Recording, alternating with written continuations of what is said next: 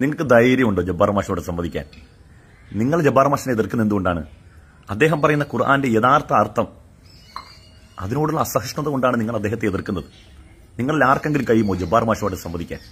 എന്നൊക്കെയായിരുന്നു ഇക്കാല പത്രയും ഇസ്ലാമിന്റെ ബദ്ധവൈരികളായ ആളുകളും ജബ്ബാർ മാഷിന്റെ ഫാൻസ് അസോസിയേഷനും പറഞ്ഞുകൊണ്ടിരുന്നത്. ഇന്ന് എനിക്ക് വളരെ രസാവഹമായ ഒരു കാര്യം ഉണ്ടായി നമ്മുടെ അയ്യു മൗലവിയും ജബ്ബാർ മാഷും കൂടെ ഇന്ന് സംവദിച്ചു. യൂട്യൂബിലൊക്കെ നിങ്ങൾ കണ്ടു കാണും അല്ലേ? അത് സദസ്സിൽ നിന്നൊരു ചോദ്യം എഴുതി കൊടുത്തു. കഴിഞ്ഞ കാലയളവിൽ ജബ്ബാർ ഭാഷ നടത്തിയ ഖുർആൻ ദുർവ്യാഖ്യാനമുണ്ട്. ഖുർആൻ ക്ലാസ് എന്ന വ്യാജേനെ. അതിന്റെ ആയത്ത് ഇന്ന സഫ വൽ മറുവത്ത ഇരില്ല നിശ്ചയമായും സഫയും മറുവിയും അള്ളാഹുവിന്റെ ചിഹ്നങ്ങളാണ് എന്ന ആയത്തിന് ദുർവ്യാഖ്യാനിച്ചുകൊണ്ട് ഷായിർ എന്ന ആ പദത്തിന് വിഗ്രഹം എന്ന അർത്ഥം കൊടുത്തു ജബ്ബാർ മാഷ് അദ്ദേഹം അങ്ങനെയാണല്ലോ കാരണം ചട്ടക്കൂടില്ലാത്ത ഒരു ജീവിത വ്യവസ്ഥയാണ് യുക്തിവാദം. അതുകൊണ്ട് തന്നെ ശരിയും തെറ്റും ധർമ്മവും അധർമ്മവും അവരെ ബാധിക്കുന്ന വിഷയമല്ല. അതുകൊണ്ട് എന്ത് കള്ളവും പറയാം.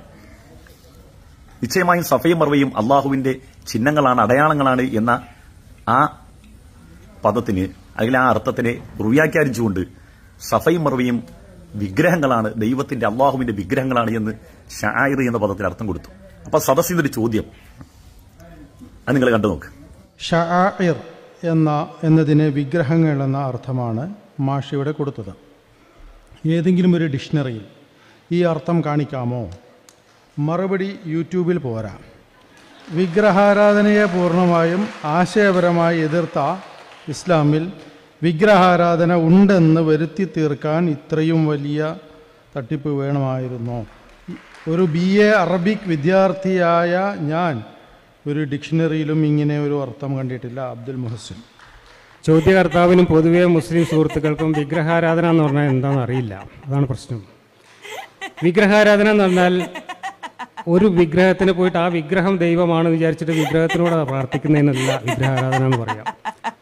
ദൈവങ്ങളുടെ പേരിൽ പ്രതീകങ്ങൾ ഉണ്ടാക്കി വെച്ച് ആ പ്രതീകങ്ങളെ ദൈവത്തിലേക്കുള്ള മനസ്സിനെ അടുപ്പിക്കുന്നതിനുള്ള ജബ്ബാർ മാഷിന്റെ മറുപടി നിങ്ങൾ കേട്ടല്ലോ അല്ലേ അല്ലയോ ജബ്ബാർ മാഷിന്റെ ഫാൻസുകാരെ യുക്തിവാദികളെ നിഷ്പക്ഷമായി നിങ്ങളോട് ചോദിക്കുകയാണ് ഈ ഉത്തരം നിങ്ങൾക്ക് ബോധ്യമായോ? വേദ്യമായോ? സദസ്സിൽ നിന്ന് ചോദിച്ച ചോദ്യം എന്താണ്? വിഗ്രഹാരാധന എന്താണെന്നല്ല ചോദിച്ചത്? ഷാഇർ അടയാളം ചിഹ്നം എന്ന പദത്തിന് വിഗ്രഹം എന്ന അർത്ഥം പറഞ്ഞ ഡിക്ഷണറി ഏതാണ്? അവിടെ വിഗ്രഹം എന്ന അർത്ഥം പറയാൻ നിങ്ങൾ അവലംബിച്ച ഡിക്ഷണറി ഏതാണെന്നാണ് ചോദിച്ചത്. അതിന് അദ്ദേഹം മറുപടി പറഞ്ഞില്ല. അദ്ദേഹം എന്ത് ചെയ്തു? വിഗ്രഹാരാധന എന്ന് പറഞ്ഞാൽ എന്താണെന്നതിന് വ്യാഖ്യാനം കൊടുക്കുകയാണ്. എന്റെ പൊന്ന് ജബ്ബാർ മാഷേ ഇതൊക്കെ കളഞ്ഞിട്ട് തൊഴിലുറപ്പിന് പോകും. അതായിരിക്കും നല്ലത്. നൂറ്റമ്പത് രൂപ ഡെയിലി കിട്ടും.